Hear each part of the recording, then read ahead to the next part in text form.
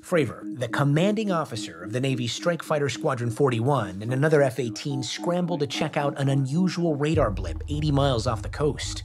So as we're looking around, the backseater in the other airplane comes up and says, Hey, Skipper, do you see? And before he says it, I'm like, Dude, do you see that?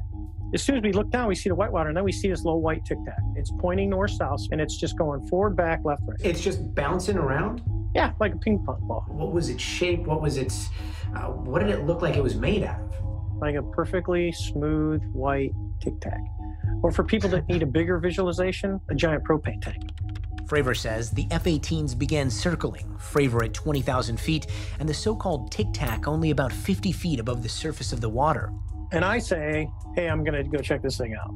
And the other pilot stays and says, hey, I'm going to stay up high. And then it starts coming up at us. We call it two circle fight, but it's coming up. I'm coming down. So it literally is aware we're there. There's no doubt because it mirrored me. So here it is. I cut across and I get to about half mile of it, you know, so I'm about halfway across the circle. As it gets in front of me, it just goes poof and it's gone. And it's gone like that fast. What do you mean, poof, it's gone? I mean, exactly that. Like it's one minute there and the next second it's like magic trick. So I asked the other airplane, I said, hey, do you guys see that? And they're like, it's gone. It just disappeared. When you saw this kind of performance, what was what was the first thing that went through your mind? what the hell was that?